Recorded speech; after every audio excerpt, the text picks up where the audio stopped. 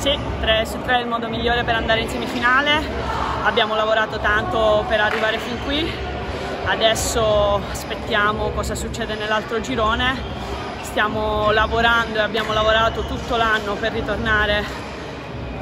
in Serie 1 e vedremo che cosa succederà, stiamo facendo il nostro,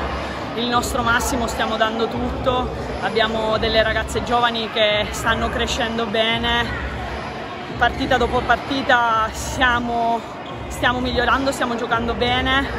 e, e, credo che queste ultime due giornate, la partita di ieri e quella di oggi, ne sono la dimostrazione. Adesso testa alla semifinale e poi si vedrà. Eh sì, questa partita era decisiva soprattutto perché dettava le nostre sorti in, in queste finali. Purtroppo siamo una squadra giovane, una squadra che infatti durante la partita ha perso lucidità